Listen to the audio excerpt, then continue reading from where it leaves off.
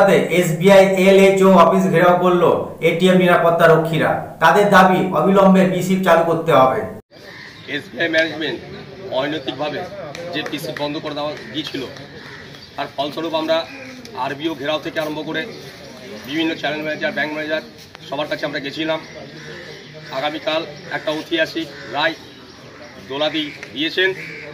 আমরা বিপদানন্দা আমাদের অপূর্বদা, মনাদা রাহুল দা এবং শুভজিৎ দা, এবং সোমেনদার নেতৃত্বে সমস্ত শ্রমিক কিন্তু এক হয়ে, সমস্ত শ্রমিক সংগঠন এক হয়ে কাল এক ঐতিহাসিক রায় কালকে দিয়েছে এসবিআই ম্যানেজমেন্ট। এই ঐতিহাসিক রায় আজকে আমাদের পরিবারের সকলকে আজকে অন্ন, বস্ত্র, বাসস্থানের সুবন্দোবস্ত করে দিয়েছে। তাই আমরা পুলিশ প্রশাসন থেকে আরম্ভ করে যারা যত পাবলিক ছিল, জনসাধারণ ছিল, আমাদের সাথে যে সহযোগিতার হাত বাড়িয়ে দিয়েছে এবং আমাদের জয়কে নিশ্চিত করেছে, তার জন্য আমরা আমাদের সকল এসবিআই হাউস হাউসকিপের পক্ষ থেকে চিরকৃতজ্ঞ এবং ধন্যবাদ জানাই। নমস্কার।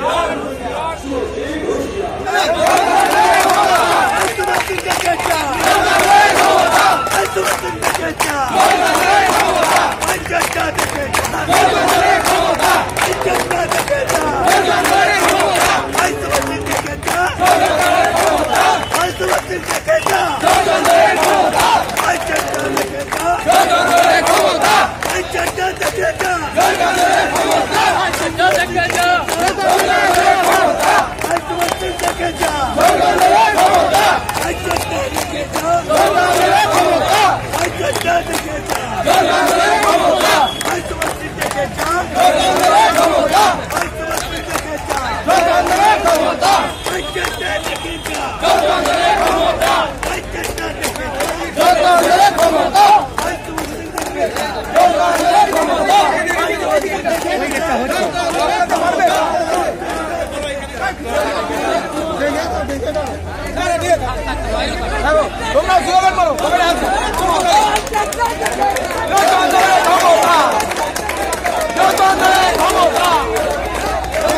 Come on, come on.